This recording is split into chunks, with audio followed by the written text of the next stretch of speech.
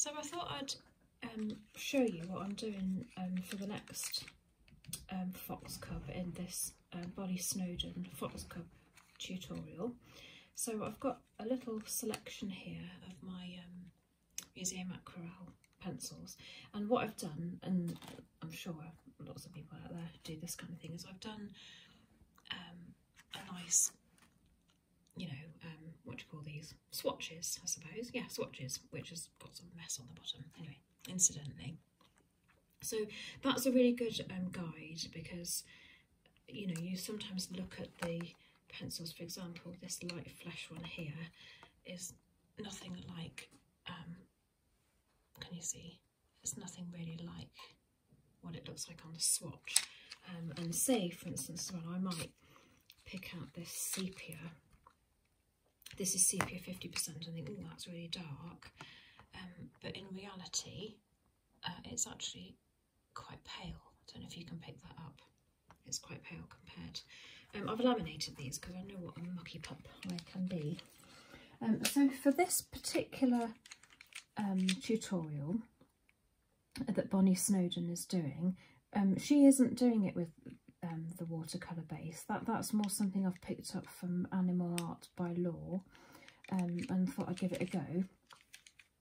So what I've picked out for these is um, sepia 50%, um, sepia 10%. They're really good base colours for um, animals, especially the sepia 10%.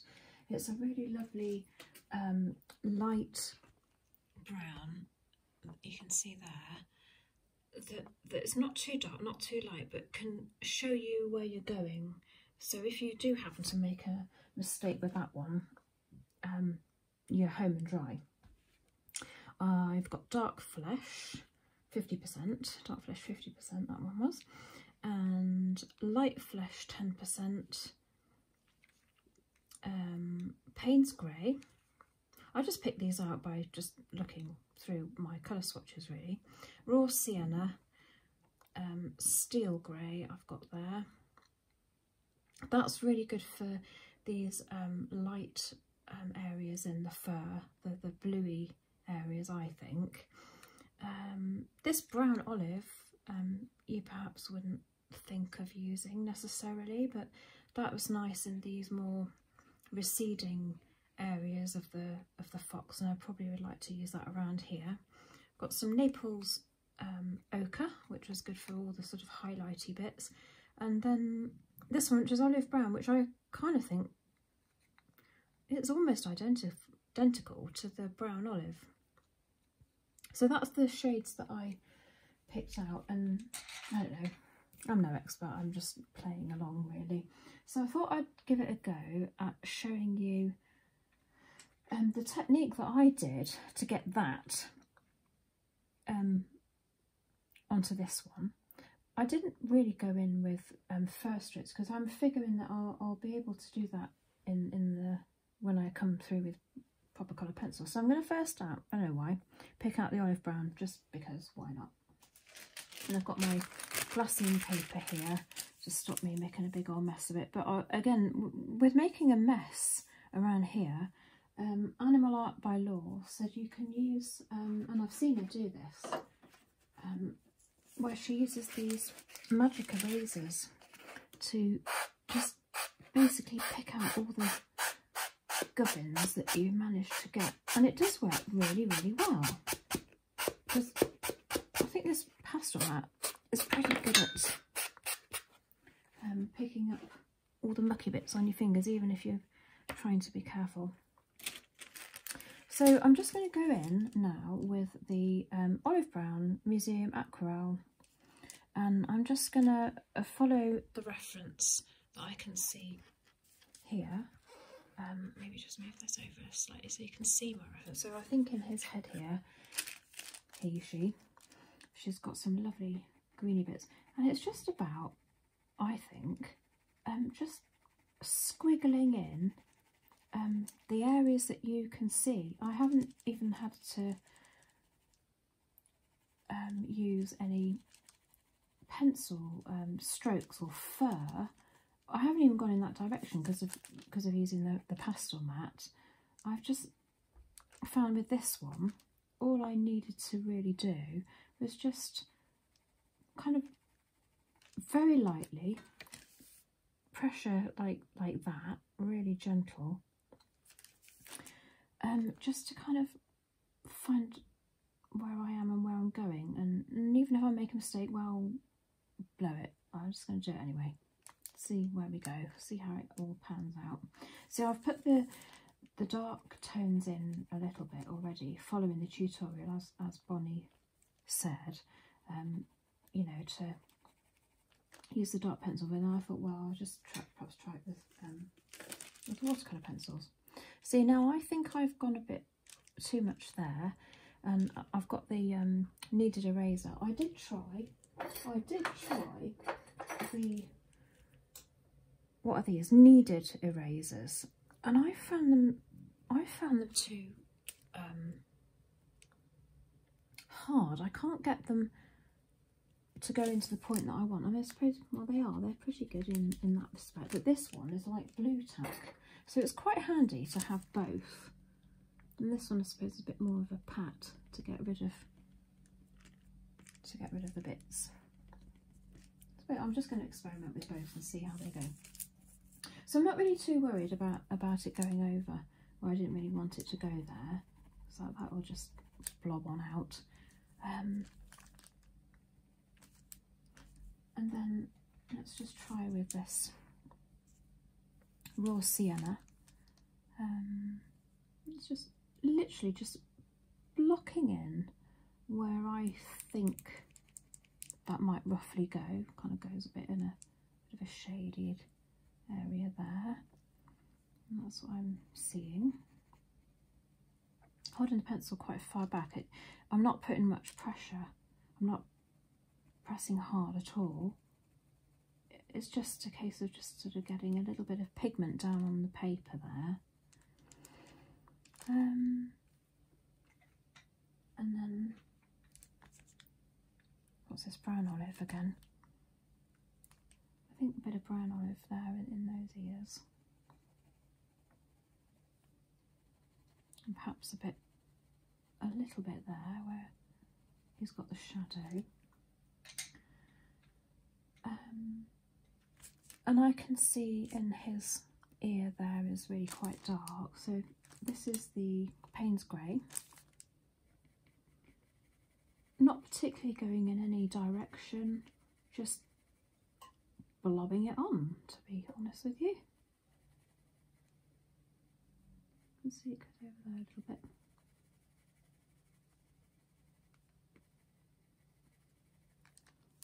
Might need a little bit of that dark indigo there, just, just to add a bit of depth. perhaps a bit spootled in there, maybe.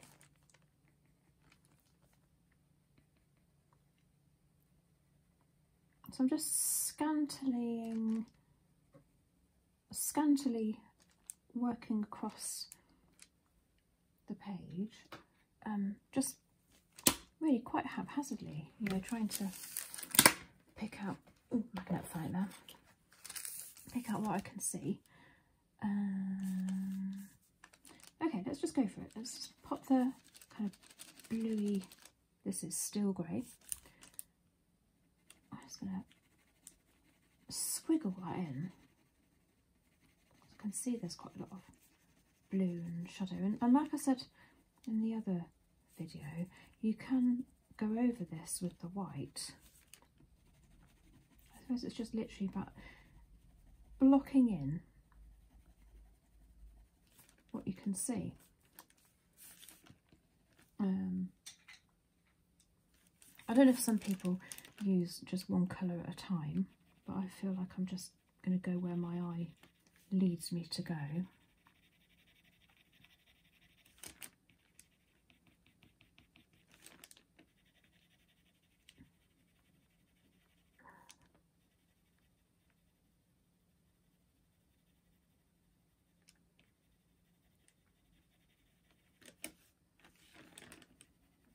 Putting in that dark, dark area over there on the back of that foot.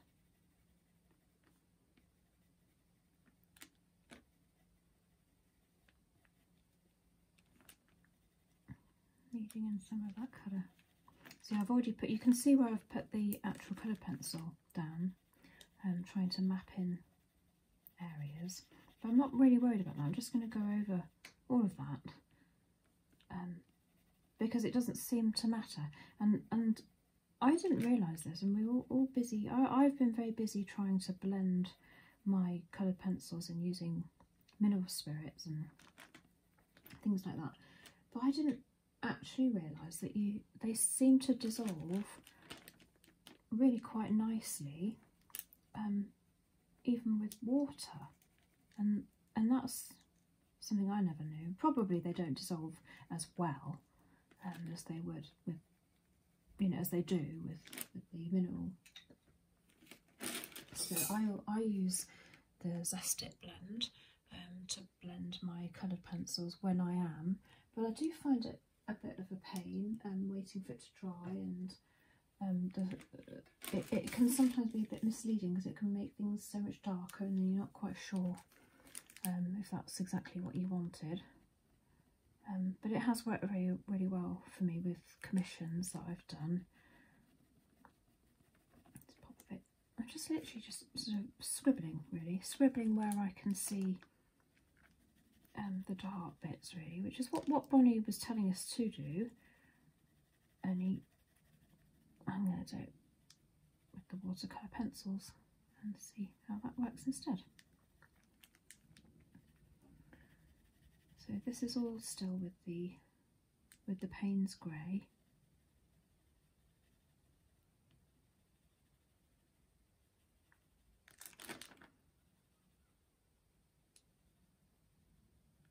Of course this can all be gone over um, when it's dry um, with any colour you like, even your light colours, which is really wonderful, I think. I think that's absolutely marvellous. Because as, as we know as coloured pencil artists and watercolour artists, it's so hard to get um, any white retrieved in our work and having to concentrate so hard on on um, preserving the whites. It's um, a bit of a thing, isn't it, to find something where you can kind of go ahead and make a monkey of it all and find that you've actually got a salvageable piece of art at the end of it. Is that navy in there? I'm not really quite sure. It seems to be. Well, again, who cares? Let's just pop it in. Seems to be because of course the blue and the oranges are going to go so lovely together as complementary colours on the colour wheel. So I'm not really afraid of, of using um, those tones. This is Raw Sienna, which I thought would be rather nice to pop in the back of there. Maybe a little bit of that um, light flesh 10%, just to wiggle that in there. And then I think because that foreleg is coming, you can see the light there. I'm just going to pop a bit of lighter yellow there. It's just so rough this, just literally just trying to squint my eyes and see um, what it is exactly I'm looking at. Um, I can see there is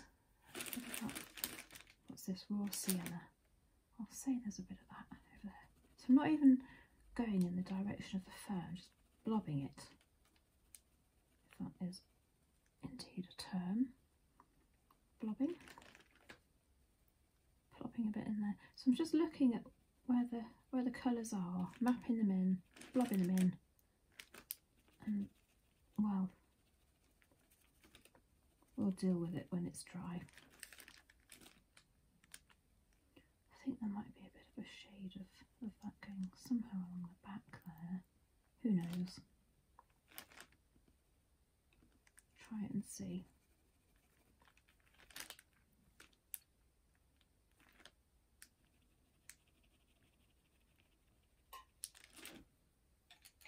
Um,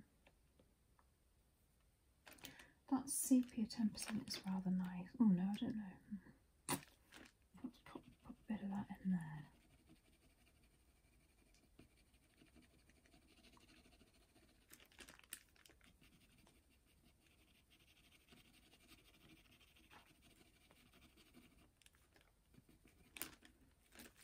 And perhaps a bit under his chest area there.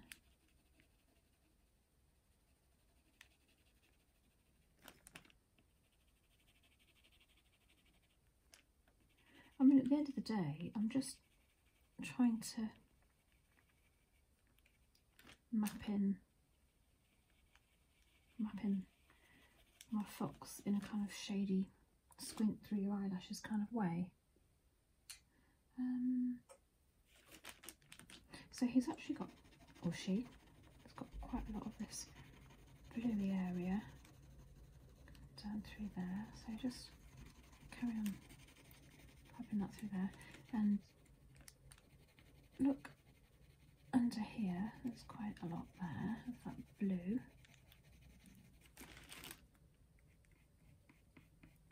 A bit more delicately here. The more pigment you put down and the darker it will be um, and just try to remember that you know you don't it will always come out darker the minute you put the water on. But then when the water fades, when it when it dries, I mean, um, you know, everything will go back pale again, and you can always go over it, which is what I'm really loving about this.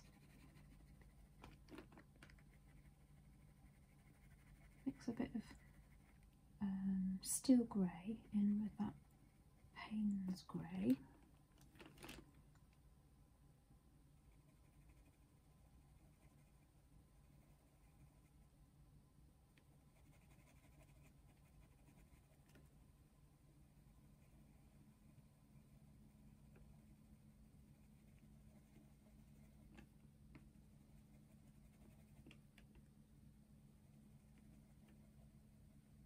So it's really rough this. It feels like I'm really not um, putting much effort into this really.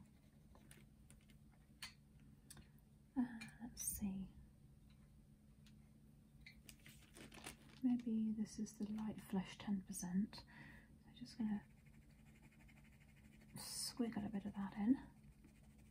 see it's there around his ears there. bit over there.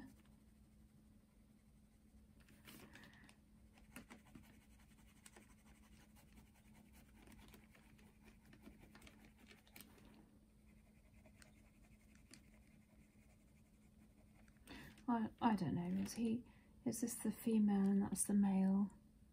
Or is he the male and he's wooing her? Need to understand the story here, the romance. want to know what's going on.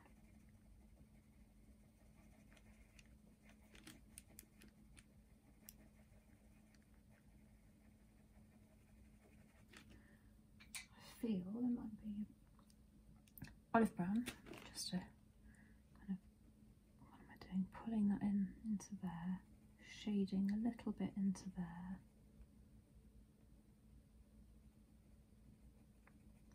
Mixing it in with that steel grey. I know there's a bit of a darker area around his her his mouth there.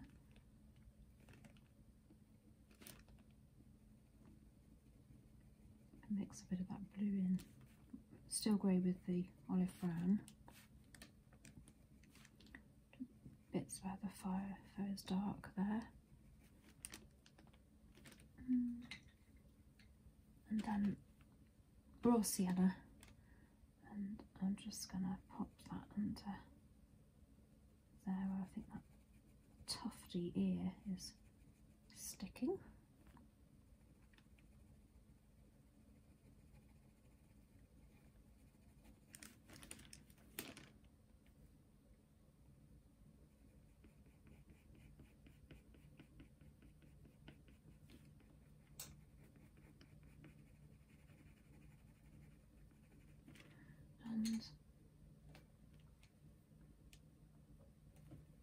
And that Naples yellow gone?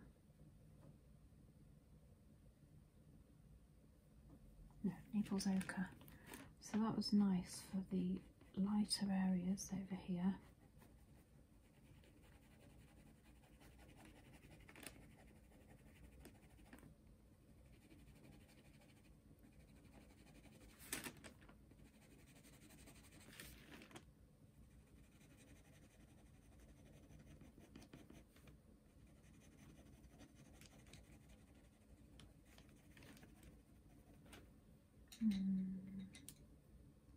The brown olive, 50%. because I feel there's some shading going on there that can just blur in.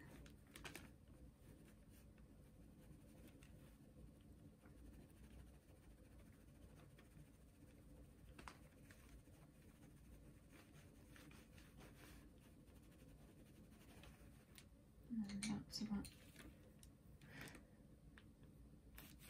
I'm yellow. Might not be exact, but it's just going to give us a guide. It's going to give me a guide as to what is going on where.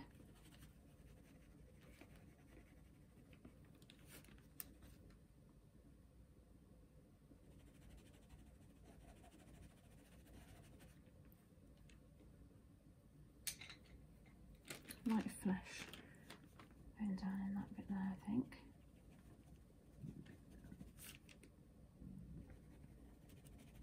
Can mix that bit in there.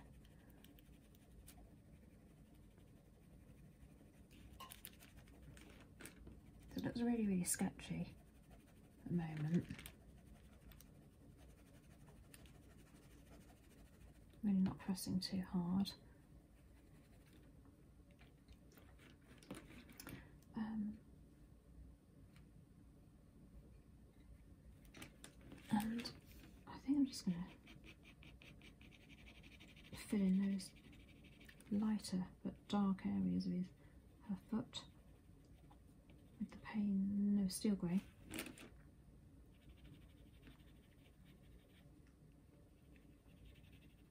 Because they seem to be um, in, a, in a colder shadow there.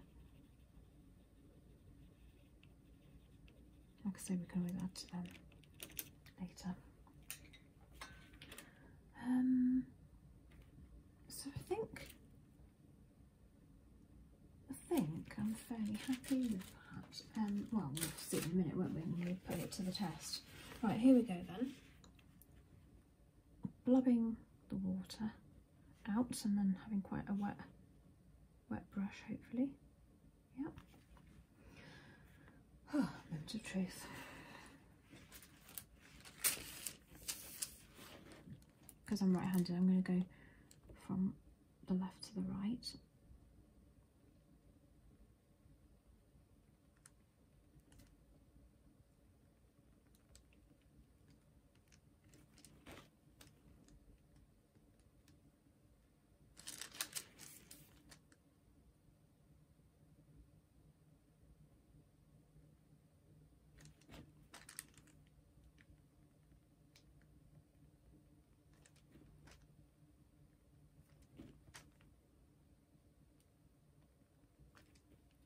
Feel a bit more confident this time, having done it with one.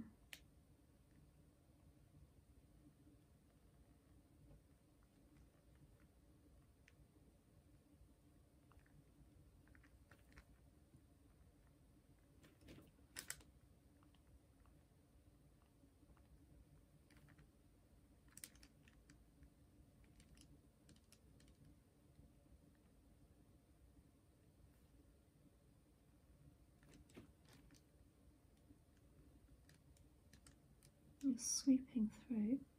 Definitely much more confident this time. Um, first fox was a bit hair raising.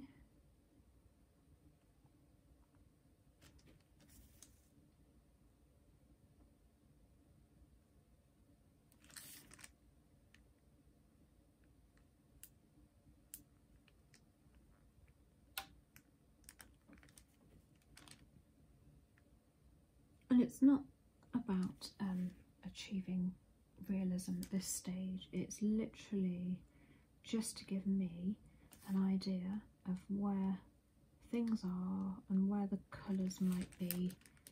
Um, and again, I can change all of that as we go through. So the lines you can see still um, are those that I put down initially um, when I was following Bonny's tutorial to the letter um, and trying to lay in the tones um, with the colour pencil and then I thought I'd have a go at doing it this way which I'm really enjoying. For me I think this is a, a bit of a quicker process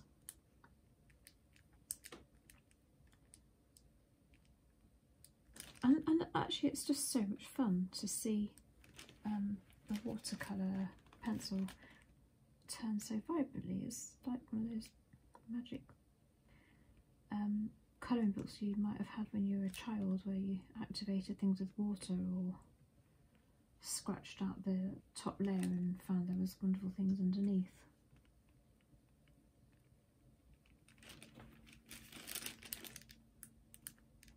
It's just giving me um, a foundation. Look at that, I can even go right over in sleep motions. I was far too scared to do that on the other one. Even when I've got these darks, I know you have to be careful about not mixing the darks with the lights, but they don't seem to mix. They seem to stay where they are. Look, I can just go right over that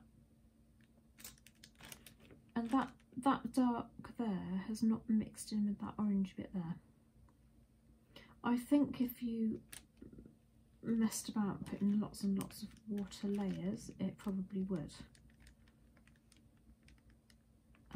But, as Animal Art by Law has been saying on her YouTube, um, don't do that. Just go over it, you've activated it, and that's that.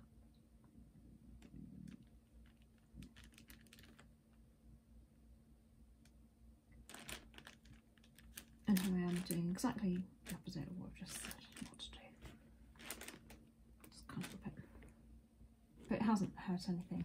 There's a bit there that's a bit harsh. I don't know if I can reactivate that. Yeah, look, look, I can reactivate that a little bit just to make that a bit softer. So all these details around the eyes and the nose and everything, that'll all be added in. Um, but it's just given me um, a bit of a basis, hasn't it, for what I want where, where the lights and darks are, and I'm really quite happy with that. So I really do hope that helps people out there and encourages people to buy more equipment, which is um, what it does to me usually. It makes me go shopping crazy. So there we are. That's um, my second demo for my little Fox Cub. Thank you, Bonny, for showing us uh, your wonderful tutorial. I will carry on watching how to do it properly now that I've messed about as my foundation layer but also thank you Animal Art by Law um, for showing us you know a good way of getting all your tones in. So thanks guys